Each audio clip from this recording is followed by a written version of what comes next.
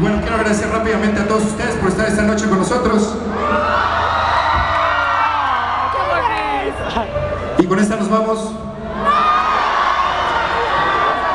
El lunes vamos a tocar en el Metro San Lázaro.